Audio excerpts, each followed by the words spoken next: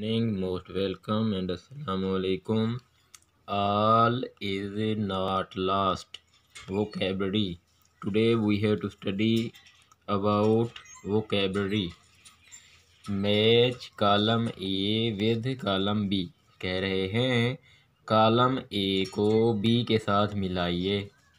Column A में ये अल्फाज दिए हुए हैं और कॉलम बी में ये दिए हुए हैं। आपने क्या कर देना है? कॉलम ए वाले अल्फाज जो हैं, वो बी के साथ आपने मिला देने हैं।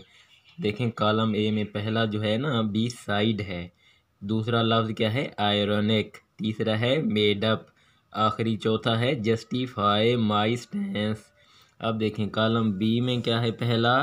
Pru myself right B में दूसरा क्या है? डिसाइडेड तीसरा देखें at the side of conveying opposite sense अब देखें, ये कॉलम ए था, ये कॉलम बी था। आपने ये करना है कि कॉलम ए को कॉलम बी के साथ मिला देना है।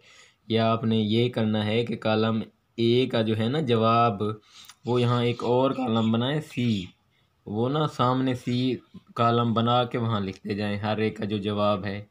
अगर ऐसे नहीं करना कॉलम ए को कॉलम बी के साथ मिलाते जाएँ और इसके लिए ना आपको अल्फाजों के माने आने चाहिए। अगर अल्फाजों के आपको माने आएँगे, तब ही आप ना ए कलम को बी के साथ मिला सकेंगे। अगर आपको अल्फाजों के माने नहीं आएँगे तो आप कॉलम ए को कॉलम बी के साथ नहीं मिलाएँगे। मैं आपको अभी ना इन अल्फाजों के माने बताऊँगा और ये देखें, कॉलम ए ये है और कॉलम बी ये है।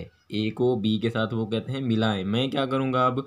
एक और कॉलम सी बना रहा हूँ, ठीक है? आपकी सहूलत के लिए माने भी बताऊँगा और ना इनका जो जवाब होगा, हर एक का यहाँ कॉलम सी में लिखूँगा। अब आगे देखिएगा, फुल तवज्जो दीजिएगा।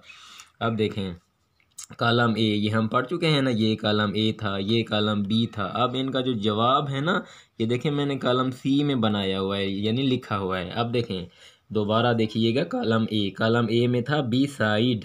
अब देखें, इसका जो जवाब है ना, कॉलम सी में मैंने लिखा हुआ है और ये क्या है? एट द साइड ऑफ़ इसका क्या मतलब है? की तरफ़ या की एट कहते हैं पर द साइड ऑफ़ तरफ़, की तरफ़, पर या की तरफ़, ठीक है?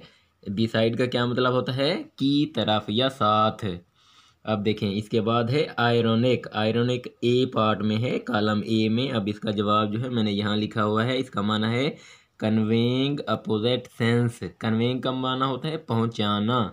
अपोजिट होता है मुखालिफ। सेंस कहते हैं एहसास या ख्याल। अब आगे देखें। मेड मेडअप मेडअप का माना क्या होता है? अगर आपको माना आए तो आप आसानी से ये अपने आप मिला सकते हैं। देखें मेडअप का माना होता है डिसाइडेड ठीक है? अब ये देखें मेक अप ये पहली फॉर्म होती है मेड अप ये दूसरी फॉर्म है। इसलिए हमने क्या यहाँ लिखा है? डिसाइडेड डिसाइडेड का क्या मतलब है? फैसला किया। अब देखें जस्टिफाई जस्टिफाई कॉलम ए में है। अब आपने इसका जो जवाब होगा कॉलम सी में लिख रहा हूँ मैं। अब देखें प्रूव माई सेल्फ राइट देखें, साबित करना अपने आप को सही, ठीक है? ये क्या है? जस्टिफाई का क्या मतलब है? अपने आप को सही साबित करना। ये आपने ना याद रखना है माने जो है ना, इनके ऊपर तवज्जो दें। नाइस टू सी यू बना love thanks take care of you God protect you Allah हाफिज़ सी यू अगेन